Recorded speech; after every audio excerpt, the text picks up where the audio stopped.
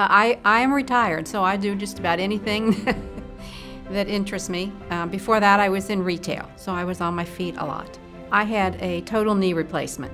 Through um, some other things I'm involved in at St. Elizabeth, I started asking around. Anybody have a, you know, knee replacement and who was your doctor and how well did you like them? And Dr. Hummel's name just kept floating to the top. It was suggested to me that I wait as long as I could, but it got to the point where the pain was something I wasn't pleased with and the quality of life was an issue for me.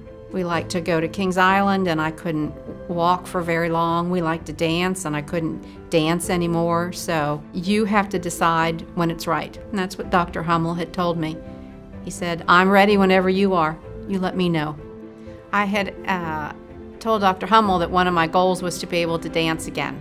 So I go a week from today to get my year checkup, my final checkup and I'll be happy to tell him I've already been dancing. I'm very happy with my decision. The timing, the doctor, everything worked out great. I couldn't have been happier with the care at St. Elizabeth.